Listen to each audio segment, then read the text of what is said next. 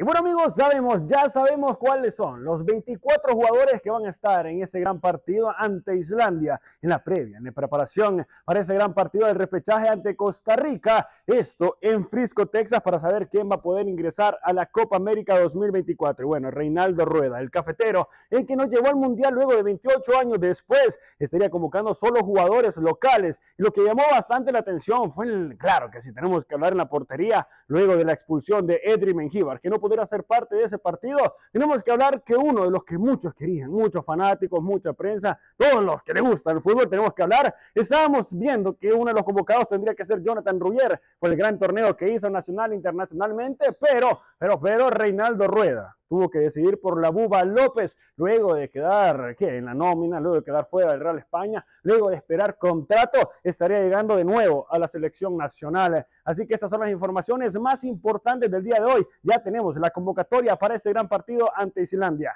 Así que para más informaciones deportivas, les invito a que visiten la página 11noticias.hn para estas y más informaciones.